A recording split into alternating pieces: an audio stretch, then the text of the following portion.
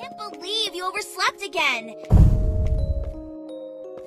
Are you okay?